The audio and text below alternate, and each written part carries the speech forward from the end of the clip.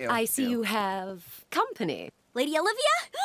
Meet Anne, one of the friends I was telling you about. Turns out she got transported to Frog Valley, Uh-huh. a little town called Wartwood. It's a pleasure to meet you, Anne. You too, dude. Oh, uh, I mean, my lady. Hmm hmm hmm. Hmm. Then you like extra work. Hmm. Fine. Hmm, hmm, hmm, hmm, hmm, hmm, hmm. hmm.